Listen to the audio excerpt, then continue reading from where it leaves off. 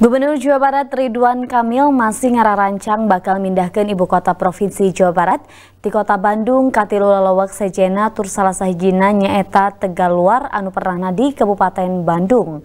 Dina Amprona ngaran Tegaluar sama mena kungsi dicoret ku DPRD Jawa Barat lantaran eta lalawak rawan musibah alam. Nyakawas gitu kayaan Tegaluar, salah saja desa anu pernah di Kecamatan Bojong Soang, Kabupaten Bandung. Eta lelawak anu legana tilu ribu lima ratus hektar teh di Cirian ku Gubernur Jawa Barat Ridwan Kamil bikin dijadikan ibu kota provinsi Jawa Barat gaganti kota Bandung.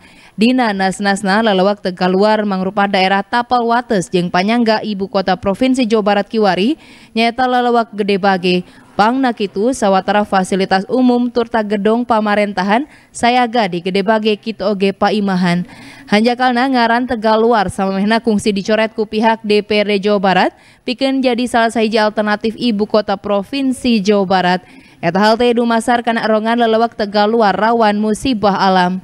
Kukituna bakal mawa pengaruh anu goreng upama jagana dijadikan puseur pamarentahan provinsi Jawa Barat.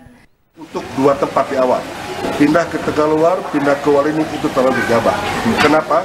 Karena tempat Tegaluar sudah pernah dia munculkan dalam draft RTR yang diajukan oleh mereka dan kita coret. Kenapa kita coret? Karena kita tetap ke BNPB.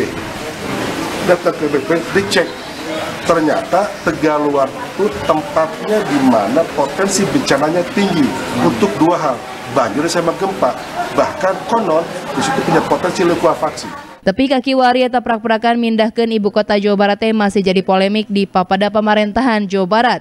Kukituna, pemerintah Provinsi Jawa Barat dipiharap lebih musir karena pangladen turta karaharjaan masyarakat, batan mengurus rarancang mindahkan ibu kota Provinsi Jawa Barat.